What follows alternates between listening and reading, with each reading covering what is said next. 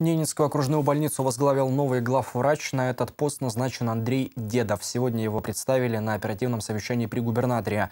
Глава региона отметил профессиональный опыт нового руководителя. До назначения на эту должность кандидат медицинских наук долгое время являлся руководителем операционного блока Елизаветинской больницы, одной из крупнейших в Санкт-Петербурге.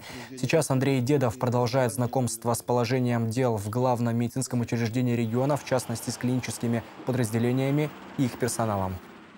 Основная задача, которую я вижу перед собой, чтобы эта больница реально стала окружной, работала на весь округ.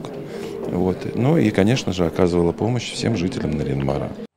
Новый руководитель окружной больницы уже обозначил проблемы, которые необходимо решить в первую очередь. Это переезд из ветхого здания инфекционного отделения, а также сокращение дефицита кадров в центральной городской поликлинике.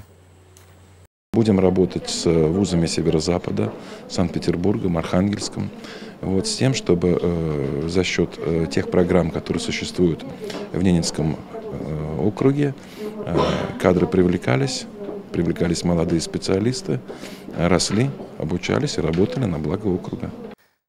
Напомню, кресло главного врача Ненецкой окружной больницы оставалось свободным больше полугода. В марте этот пост покинул Антон Карпунов.